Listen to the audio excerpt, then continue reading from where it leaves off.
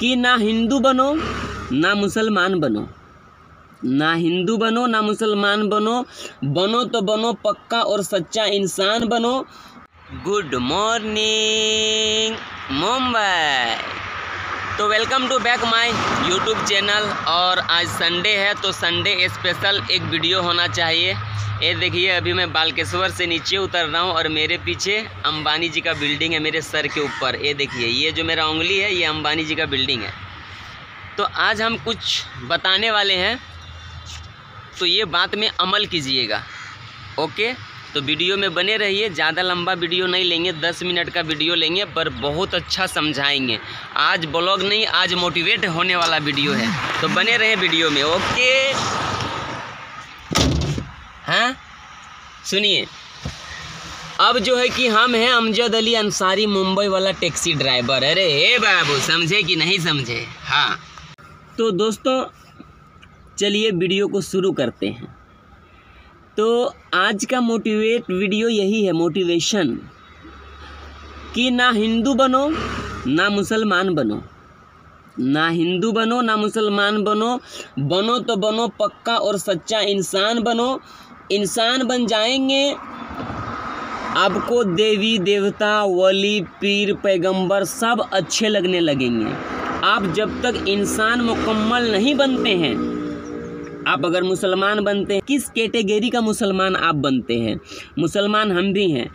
तो हम जो मुसलमान हैं ना, इसे सुन्नी मुसलमान कहते हैं।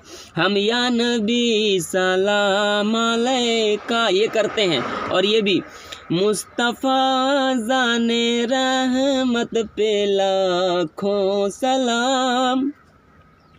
शमय बज में हिदायत पे लाखों सलाम। ये हम लोग पढ़ते हैं।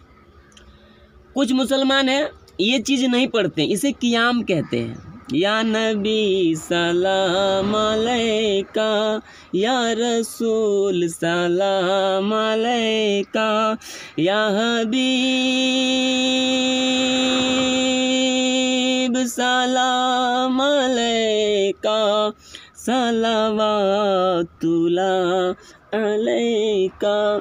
तो ये हो गया मेरे पिताजी पढ़ते हैं, हम पढ़ते हैं, मेरे नस्ल, मेरे ख़ानदान। बट एक मुसलमान होता है देबंदी वो कहते हैं, खुदा को मानो। हमारे नबी पाक हुजूर सल्लल्लाहु अलैहि वसल्लम का हर एक बात मानो, फिर वो कियाम नहीं करते। वो टोपी पहनते हैं तो एकदम सटा हुआ। कोई टोपी पहनते हैं, उठा हुआ, वो हो गया बेरेली। फिर कोई कहते हैं कि अहल सुन्नत का शेर बबर कौन था? अरशदुल कादरी। तो ये अहल सुन्नत का शेर बबर थे। फिर देबंदी लोग अहल सुन्नत का शेर बबर क्यों नहीं है? देबंदी का कुरान एक है, सुन्नी का कुरान एक है, चौबीस नंबर, बत्तीस नंबर, जितने भी खान पठान, जितने भी दुनिया में जितने भी प्रकार के मुसलमान हैं चाहे लंदन, दुबई, अमेरिका, सऊदी, जिस कंट्री में हैं, सब कुरान को एक ही तरीक़ा से पढ़ते हैं। सबका अलहमद एक ही है। समझ रहे हैं ना? बट ये हो गया मुसलमान की कार्यक्रम, इतनी प्रकार की हैं।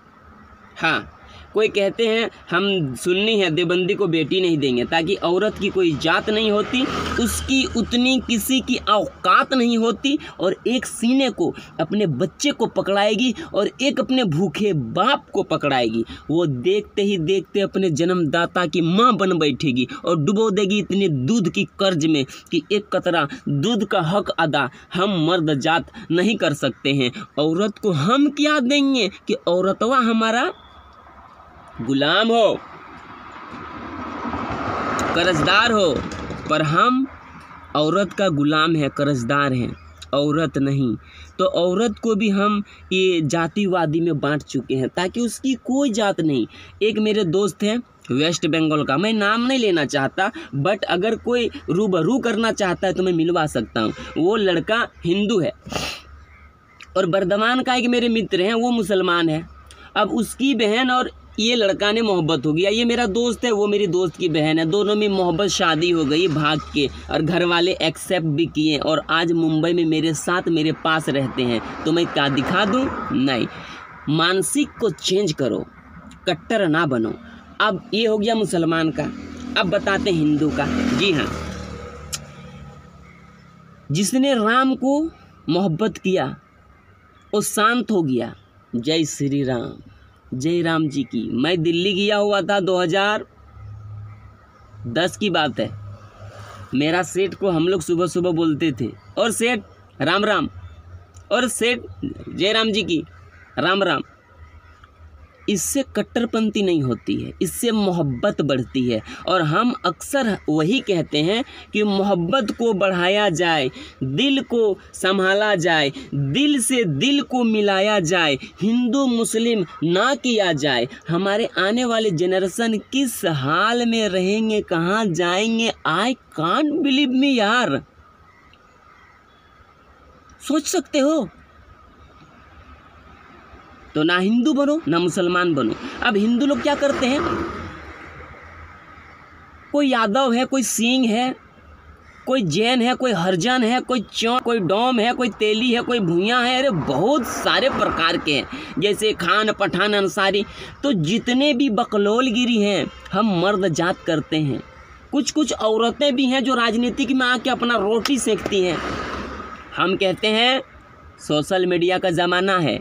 ज्ञान बांटा करो, अपने दिल की बात को बताया करो, आवाम को समझाया करो। कोई क्या कहते हैं मालूम है? कोई कहते हैं, पंद्रह मिनट पुलिस को हटा लो, हम दिखा देंगे मुसलमान का क्या पावर है। इस प्रकार की नहीं होनी चाहिए। मुसलमान तेरा बाप का जागीर नहीं है। मुसलमान मुसलमान है। मुसलमान मुसलमान के लिए क्यों लड़े भाई? अपने ईमान के लिए लड़ो, नमाज़ पढ़ो, अपने ईमान को पक्का करो, मेहनत करो, बच्चे को एजुकेशन दो, पढ़े लिखे इंसान रहेंगे तो राजनीतिक भी सही से करेंगे। व्हाट्सअप वाला पढ़ाई ना पढ़ाया करो। हम मुसलमान हैं। हमारे मुंबई में हज़ारों मित्र हैं जो हिंदू हैं। एकदम पंडित, कट्टर कट्टर पंडित जी हैं, मेरे मित्र, जो हमसे सुबह सुबह हाथ मिलाते हैं। और हमजद भाई कैसे हो? बढ़िया है पंडित जी, आप कैसे हैं? बढ़िया है। बैठते हैं साथ में, चाय पीते हैं। इससे मोहब्बत बढ़ती है। हम मर्द हैं, वो मर्द हैं। बाद में मुसलमान बनो, बाद में हिंदू बनो, पहले मर्द बनो। और जो मर्द बन गया, वो अच्छा इंसान बन जाएगा। और जो अच्छा इंसान बन गया, वो सारे कायनात का जितने भी धर्म है, सब अच्छा लगने लगेगा। धर्म को मानने का मतलब क्या है? अपने ईमान को पवित्र करना। कोई काली जी को पूजा करता है ईमान को पवित्र करता है। कोई दुर्गा जी को पूजा करता है, कोई गणपति जी को पूजा करता है, कोई शिव जी को पूजा करता है, कोई पार्वती जी को पूजा करता है, कोई सरस्वती जी को पूजा करता है, कोई महादेव जी को पूजा करता है। हमारे मुसलमान में कितने किस्म के हैं यार? कोई अजमेर शरीफ बाबा का नाम पहले लेगा, अल्लाह का नाम बाद में लेगा, वो उससे मोहब्बत करता है। मेरे बाप एक मनीर बाबा का नाम लेता है रात दिन, अल्लाह का नाम लेता ही नहीं है।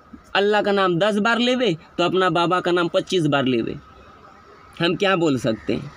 मेरा बाप का जो सोच है उन, उनको मुबारक हो जो मेरी सोच है वो मुझे मुबारक हो जो तेरी सोच है वो तुझे मुबारक हो। बट आज अगर हम लोग ऐसे ही लड़ते रहे मरते रहे कटते रहे तो हमारे बच्चे का क्या होगा? एक बात सुनिएगा मेरे दोस्त मेरे मित्र अब मैं वीडियो को ज़्यादा लंबा नहीं करने वाला हूँ बस ये कट्टरपंथी को मिटाने के लिए हर संडे को मैं एक एक वीडियो लाऊँगा मोटिवेट वाला। क्या समझे?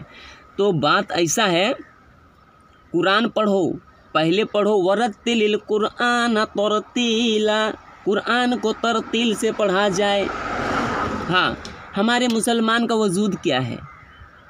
कुल्लो नफ्सिन जायकतुल मौत, हर नफ्स को मौत का मज़ा चिखना है। हाँ फिर मर जाओगे तो पढ़ देंगे, इन्ना लिल्लाहि व इन्ना इलैहि राजिऊन। ख़त्म, डिलीट। तुम गए दुनिया से। अब कब्रस्तान में ले जाएँगे। मिनहा खलक नाकुम वफ़ीहा नुईदुकुम व मिनहा नुखरिजुकुम तारतन उखरा। इसी मिट्टी से आए थे, इसी मिट्टी में डाल रहा हूँ, इसी मिट्टी से फिर ऊपर वाले बना के तुम्हें भेजेंगे। इसका मतलब ये होता है, नंगा आए थे, नंगा जाएँगे, लाइफ में कोई सजदा दिया, कोई घंटा बजाया। जीवन को जिया, अपने दौलत, अपने प्रॉपर्टी अपने बिल्डिंग अपने घर, सारे चीज़ को इस दुनिया में छोड़ के चले गया। माइंड को चेंज करें, सोचें और बस, अगर मेरा कोई बोलने में गलती हुई हो, माफ़ी चाहता हूँ। सॉरी बट ये वीडियो मेरा इंटरटेनमेंट सोच लीजिए, या समझदार सोच लीजिए, या मोटिवेट सोच लीजिए, ये लड़ने वाली नहीं है। औरत का हम लोग कर्जदार हैं। औरत हमारी कर्जदार नहीं है, लेकिन औरत को नंगा घुमाया जाता है हमारे देश में, लेकिन हमारे प्रधानमंत्री, हमारे गृह मंत्री हमारे महिला मंडल मंत्री आज तक उसका कोई समझ सकते हैं? I respect you ladies I respect you mother. हम क्या है? मर्द घंटा बजा सकता है और डंटा हिला सकता है और अपने गुरूर और अपने मगरूर में जी सकता है और क्या बोलें? मतलब और ज़्यादा बात को नहीं बढ़ाना चाहते हैं। अल्लाह हाफिज़, दुआ में याद रखिएगा। कट्टरपंथी को थोड़ा फुर्सत मिले तो ख़त्म करिएगा, नहीं तो हमारे आने वाले जो बच्चे लोग हैं, हम तो मर जाएँगे, आप मर जाएँगे। हमारे बच्चे का बुनियाद को इस हाल में छोड़ के ना मरें, सुधरने का कोशिश करें। थैंक यू मेरा भारत महान। जय हिंद, जय भारत। अल्लाह अकबर, जय श्री राम। जो बोले, दिल दरिया, बाकी सब समंदर, जहाँ से आए, सब दिल के अंदर। अल्लाह हाफिज़। दुआ में याद रखिएगा। My name is Amjad Ali Ansari I am not बक बक इंग्लिश आई एम देहाती लोंडा झारखंडी भाई only on Bhojpuri Hindi Bengali okay thank you bye